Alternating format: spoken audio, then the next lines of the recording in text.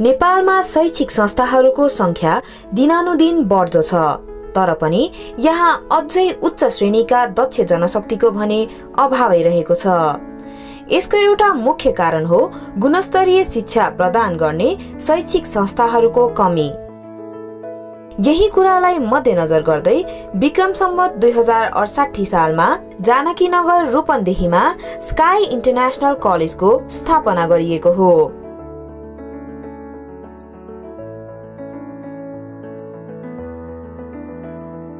यस कलेजमा स्नातकोत्तर तह अर्थात् मास्टर्स लेभलमा बिजनेस एडमिनिस्ट्रेसन र आइटी म्यानेजमेन्ट विषयहरूको पढाइ भइरहेको छ। सुरुवातमा सिक्किम मणिपाल कलेजको सम्बन्धनमा डिस्टेन्स लर्निङको माध्यमबाट पढाइ सञ्चालन गरिरहेको यस स्काई इन्टरनेसनल कलेजले दुई हजार बहत्तर सालमा आएर मलेसियाको five tier rated Asia Pacific university of technology and इनोभेसनसँग सम्बन्धन लिई कलेजमै कक्षा सञ्चालन गरी अध्यापन गराउँदै आएको छ। जुन हामीले एफिलिएसन चेन्ज गरेर अन क्याम्पस बनायौँ र तपाईँको युनिभर्सिटी पनि अब मलेसियाको युनिभर्सिटी र फेरि हाम्रो जुन ट्रेन्ड छ त्यो ब्रिटिस ट्रेन्ड भएको भएर अलिकति चाहिँ हाम्रो जुन नेपाली ब्याकग्राउन्डबाट चाहिँ ब्याचलर्स गरेर आएको विद्यार्थीहरूलाई अलिकति गाह्रो छ। यो पुरै इन्टरनेसनल स्ट्यान्डर्डमा छ असाइनमेन्ट भनेको छ। त्यसमा चाहिँ अलिकति विद्यार्थीलाई गाह्रो भइरहेको अवस्था छ तर केही हदसम्म अहिले चौथो सेमेस्टरसम्म चौथो इन्टेकसम्म आइपुग्दाखेरि हामीलाई केही सहज चाहिँ भएको छ। विद्यार्थीहरूले बुझिया छन् अचल। नर्मली एमबिए भनेर हामीले युनिभर्सिटीको एमबिए प्रोग्राम राखिसक्यौँ राखिसकेपछि नेपालको अवस्थामा चाहिँ अब यहाँ फाइनेन्स र मार्केटिङ अलिक बढी चल्ने र विद्यार्थीहरूलाई पनि त्यो चाहिने भइसकेपछि हामीले इलेक्टिभमा त्यो दिएको छौँ। तर हाम्रो इन्टेन्सन भनेको चाहिँ एन्टरप्रेनरसिप हो त्यसमा चाहिँ हामी बढी फोकस चाहिँ छौँ। स्काई इन्टरनेसनल कलेजमा Asia Pacific university of technology and इनोभेसनले निर्धारण गरे अनुसार कोर्सहरू डिजाइन गरिएका छन् जसमा असाइनमेन्ट्स फिल्ड भिजिट र इन्टर्नसिप जस्ता प्र्याक्टिकल कुराहरू पनि समावेश गरिएका छन्। यहाँका अनुभवी प्राध्यापकहरू पनि बिजनेस ब्याकग्राउन्डबाट नै भएका कारण विद्यार्थीहरूलाई पढाइमा थप मद्दत पुगेको छ। विद्यार्थीहरूमा उद्यमशीलताको सिप विकास गर्ने कुरालाई विशेष ध्यान दिँदै आएको स्काई इन्टरनेसनल कलेजले समय समयमा गेस्ट लेक्चररहरू बोलाएर विद्यार्थीहरूलाई उनीहरूको ज्ञानको दायरा बढाउने मौका दिइरहेको छ। एमबिए भनेको इन्टरेक्टिभ क्लास हुनुपर्छ र teacher they are just facilitator होइन? यसमा त विद्यार्थी आफैमा पनि एउटा इन्टिटी हो र ऊ आफू पनि ब्याचलर्स गरेर आइसकेको छ अन्डर ग्रेजुएट हो ऊ आफू पनि र उसले पनि केही न केही कन्ट्रिब्युट गर्न सक्छ भन्ने हिसाबले हामी गइरहेको छौँ। एमबिए भनेको चाहिँ अन गर्ने कुरा नै हो। अन गर्न मिहिनेत गर्नुपर्छ होइन? र म मिहिनेत गर्छु र म चाहिँ यो मिहिनेत गरिसकेपछि मैले भोलि चाहिँ सोसाइटीको अरू स्टुडेन्टलाई पनि कन्ट्रिब्युट गर्छु इन्टायरली सोसाइटीलाई कन्ट्रिब्युट गर्छु भन्ने खालको चाहिँ मानसिकता हुन्छ भने हामी यहाँ छौँ। अब युनिभर्सिटीले हामीलाई चाहिँ धेरै सपोर्ट गरिरहेछ मुडल दिएको छ त्यसपछि तपाईँको इन्फर्मेसन एक्सचेन्ज दिएको छ। होइन जुन अहिले चाहिँ नेपाली भनौँ न सिनेरियोमा चाहिँ एकदम नयाँ कुराहरू हुन्। डेस्क्रिप्टरले जे जे भनेको छ त्यो कुरा चाहिँ हामी गराइरहेछौँ हामी चाहिँ यिनीहरूलाई साइट भिजिट फिल्ड भिजिट गराउँछौँ र मोड्युलले भनेअनुसार उनीहरूले रिपोर्ट जेनेरेट गरेर लिएर आउँछन्। त्यसपछि त्यो बाहेक चाहिँ अब रियल इन्भाइरोमेन्टमै जस्तै हाम्रो टिचरहरू कतिजना कन्सल्टेन्ट हुनुहुन्छ बिजनेस कन्सल्टेन्ट कुनै चाहिँ बिजनेस क्यापिटलिस्ट अथवा भेन्चरहरूलाई चाहिँ कुनै आइडिया चाहिएको छ कन्सेप्ट चाहिएको छ भने हाम्रो टिचरहरूसँग सँगसँगै बसेर डकुमेन्टेसनमा लागिरहेको अवस्था छ। त्यो हुँदाखेरि अब भोलिका दिनमा एमबिए सके सकाइसकेपछि उहाँहरू आफै पनि एउटा चाहिँ कन्सल्टेन्ट बन्न सक्ने सम्भावना छ। र कहिलेकाहीँ हाम्रो चाहिँ कस्तो कन्सल्टिङ गर्दा गर्दा दुई चारजना विद्यार्थीले आफैले पनि एन्टरप्रेनरसिप इस्टाब्लिस गरिसकेको उदाहरण पनि छन्। अरू क्याम्पसहरूमा मास्टर्स पछिको प्लेसमेन्ट कुरा गर्छन्। हामी मास्टर्स हुँदा हुँदै प्लेसमेन्टको कुरा गरिरहेछौँ। ताकि उनीहरू मास्टर्स गरिसकेपछि जब नगरून्। एटलिस्ट एन्टरप्रेनर उनीहरू बनुन्। होइन? अथवा सोसाइटी सोसल डेभलपमेन्टमा उनीहरूको इन्भल्भमेन्ट रहोस्। होइन? भन्ने खालको कुरामा चाहिँ हामी गरिरहेछौँ। स्काई इन्टरनेसनल कलेजमा विद्यार्थीहरूको सुविधाका लागि हाई स्पिड इन्टरनेट र कम्प्युटर ल्याबको पनि व्यवस्था गरिएको छ। यसका साथै पाँच हजार बुक्स तथा अडियो बुकहरू समेतको कलेक्सन रहेको लाइब्रेरी यस कलेजमा रहेको छ। गुणस्तरीय शिक्षाका लागि लेटेस्ट टेक्नोलोजीको आवश्यकतालाई ध्यानमा राख्दै मल्टिमिडिया एलइडी प्रोजेक्टर र डिजिटल व्हाइट बोर्डको प्रयोग गर्दै अध्यापन गराइरहेको छ। कलेजको इन्भाइरोमेन्ट राम्रो छ अनि टिचरहरू पनि सबैजना राम्रो छन् कोअपरेट गर्नुहुन्छ साथीहरू पनि सबै कोअपरेटिभ छन् पढाइ पनि एकदम राम्रो हुन्छ। हाम्रो एसाइनमेन्ट्सहरू टाइम टाइममा आइरहेको हुन्छ अनि हाम्रो सबै धेरै कुरा सिक्न पाइएछ भनौँ यहाँ आएर। नयाँ कुराहरू जान्न मन लाग्छ वा केही नयाँ कुराहरू सिक्न मन लाग्छ भने यहाँ इन्टरनेसनल एमबिएमा पढे राम्रो हो। धेरै कुरा सिक्न पाउँछन् अनि धेरै नलेज पनि गेन गर्छन्। स्का इन्टरनेसनलको बारेमा मैले धेरै चर्चाहरू सुनेको थिएँ एउटा न्युजहरूमा टेलिभिजनहरूमा अनि साथीहरूबाट पनि धेरै कुराहरू सुनेर म यसको बारेमा अध्ययन पनि गरेँ। एकदम राम्रो लागेको कारणले म यो स्का इन्टरनेसनलमा अहिले एडमिसन भएको हो। म अहिले मेरो रनिङ थर्ड सेमिस्टर हो अहिले। पिएचडी गर्नुभएको टिचरहरू हुनुहुन्छ।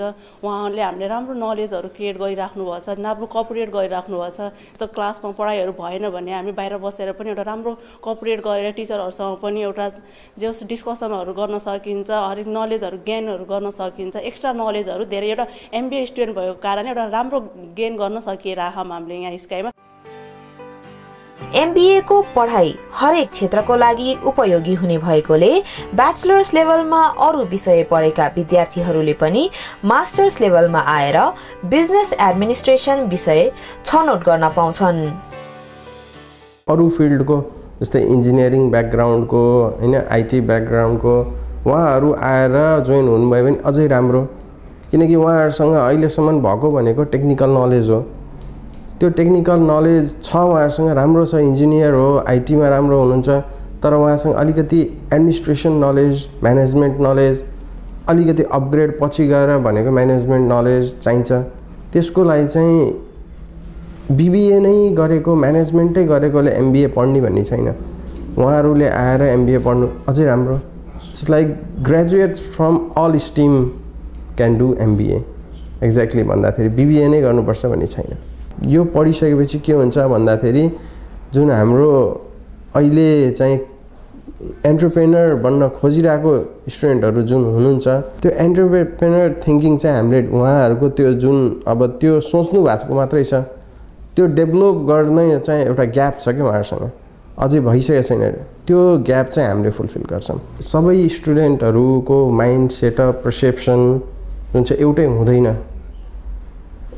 एभ्री वान इज डिफ्रेन्ट भन्ने तिनीहरूले पनि हामीले पनि त्यही स्टाइलले डेभलप गरेको छ यो एमबिएलाई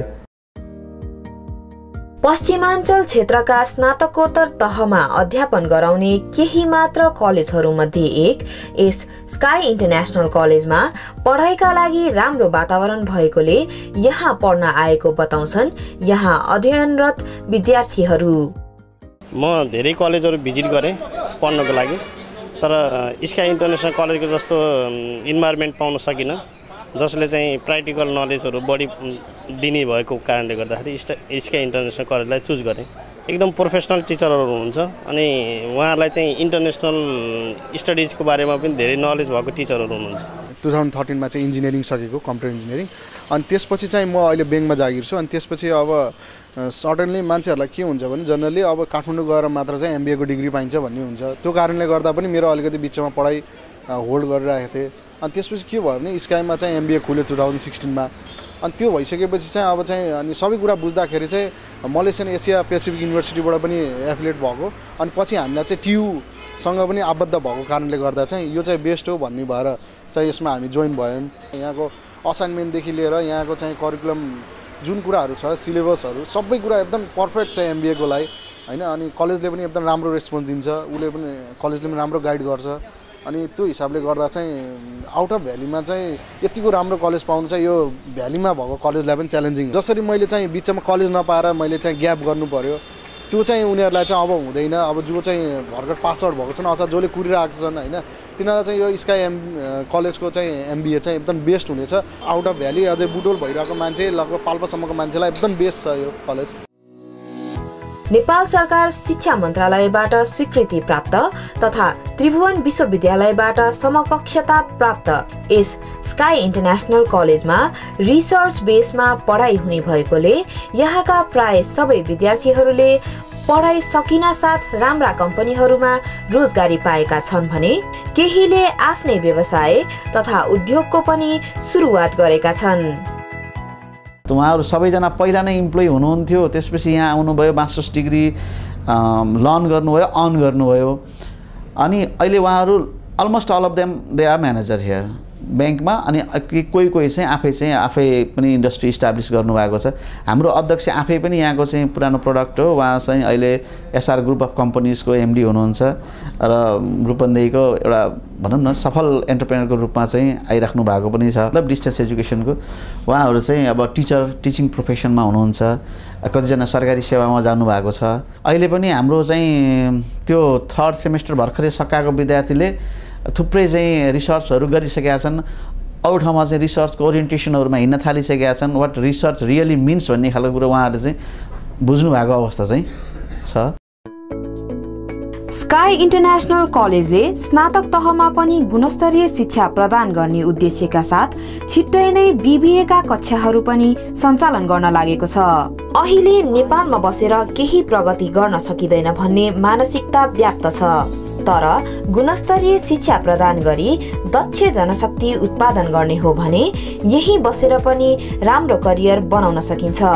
अझ विद्यार्थीहरूमा उद्यमशीलताको विकास गरी उनीहरूका लागि उद्यम गर्ने उपयुक्त वातावरण बनाइदिने हो भने अरू मानिसहरूका लागि पनि रोजगारी सिर्जना गर्न सक्छन्। यस्तो वातावरणको सिर्जना गर्नका लागि स्काई इन्टरनेसनल कलेज जस्ता गुणस्तरीय शिक्षा प्रदान गर्ने शैक्षिक संस्थाहरूलाई बढावा दिन जरुरी छ। स्काई इन्टरनेसनल कलेज जानकी नगर रूपन्देही।